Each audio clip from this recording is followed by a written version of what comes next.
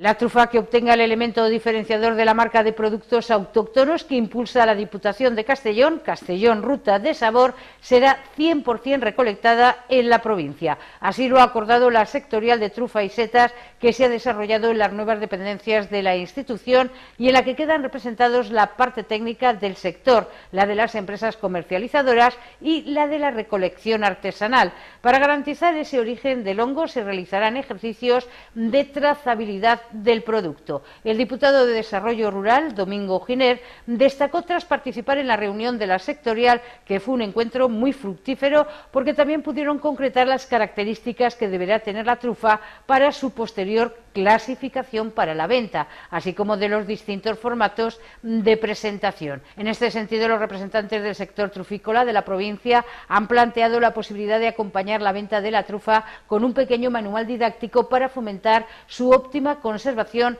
y consejos para su mejor consumo. Con ello, señaló Giner, además de fomentar un mayor consumo, también están procurando un mejor conocimiento de la trufa por parte de los castellonenses y demás potenciales consumidores está convencido de que con esta iniciativa, impulsadas por el presidente Javier Moliner, están contribuyendo a dignificar y profesionalizar un sector que tiene muchas oportunidades en los municipios de la provincia, a partir de uno de los tesoros más preciados que ofrecen las montañas castellonenses. El esfuerzo y la apuesta del presidente de la Diputación para regularizar el sector trufícola y profesionalizarlo se completa también con el convenio con el Centro de Estudios Ambientales del Mediterráneo que permite permite que los agricultores tengan la posibilidad de obtener el sello en sus plantas microrizadas y viveros a través de analíticas que se realizarán en el Centro de Desarrollo, Información y Promoción Rural del Alto Palancia ubicado en Villanueva de Viver. En el transcurso de la reunión de la sectorial de la trufa y la seta se realizó un balance, en primer lugar,